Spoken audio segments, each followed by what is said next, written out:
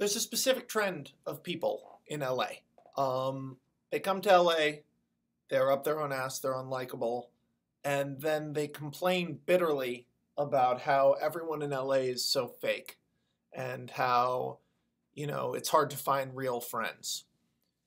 Literally, without exception, everyone I've met in Los Angeles who has this mindset or says these things is difficult to be around, is either annoying, egomaniacal, fake, superficial, duplicitous, unstable.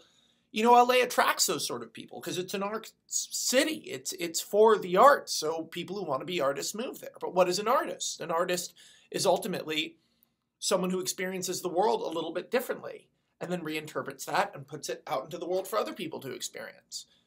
The problem is this creates a lot of personalities, as we've seen throughout all of history, that are a little bit unpleasant and aren't necessarily correlated to how talented the person is.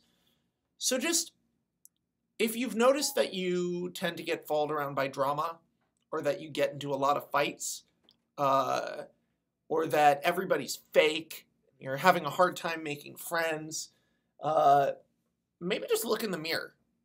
Or maybe just look in the mirror a little less.